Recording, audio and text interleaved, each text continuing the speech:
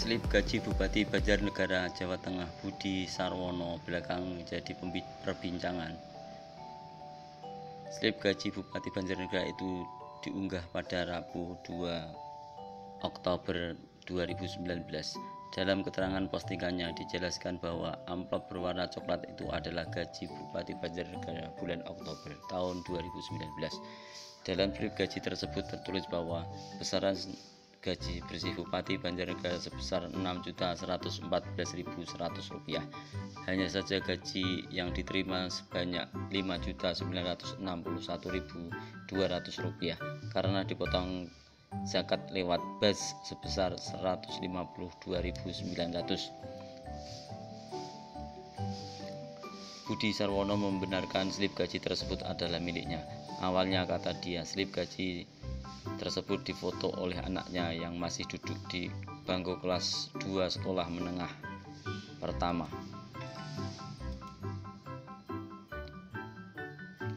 Anak saya lagi duduk di samping saya. Anak saya kelas 2 SMP, baru tahu gajinya bapaknya begitu kaget.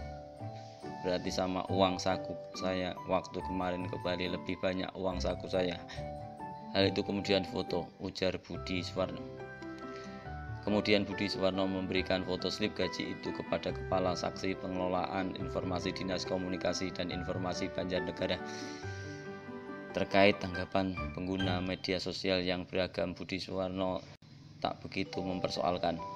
Ada banyak yang berkomentar, katanya ada yang kasihan, banyak yang enggak senang, juga yang enggak apa-apa.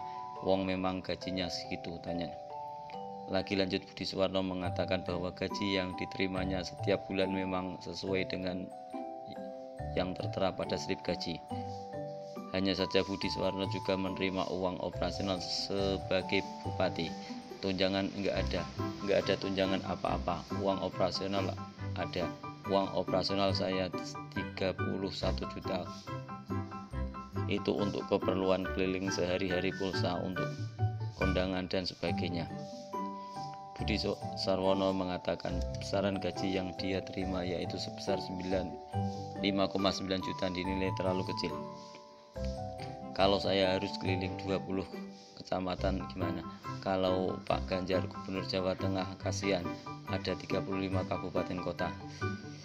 Kalau seperti itu ngajari bupati celutak atau suka mencuri. Kalau celutak sudah disiapkan jeratan senjata KPK habis Bupati se-Indonesia sambung Budi. Budi Sarwono berharap pemerintah pusat dapat memperhatikan gaji para kepala daerah. Kalau memang negara ada anggaran memperhatikan bupati dan bupati Alhamdulillah. Kalau nggak ada juga nggak apa-apa. Budi Sarwono secara pribadi tidak mempersoalkan besaran gaji yang diterima sebelum menjadi bupati Budi Sarwono merupakan pengusaha sukses di daerahnya. Harapan sih kalau ada peningkatan syukur Alhamdulillah. Kalau enggak ada ya sudah.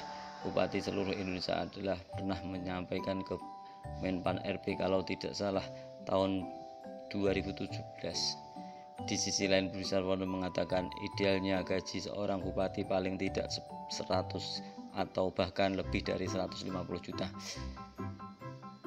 Kalau anggota dewan saja 30 juta bupati 100 juta atau 150 juta lah kata Bupati ketika dihubungi Kamis 3 Oktober 2019 Budi Sarwono berharap pemerintah pusat dapat mempertimbangkan kenaikan gaji para kepala daerah.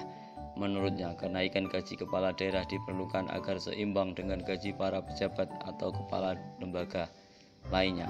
Kalau sudah viral ya enggak apa-apa. Mudah-mudahan pemerintah malu dan melipatkan 10 atau 20 kali.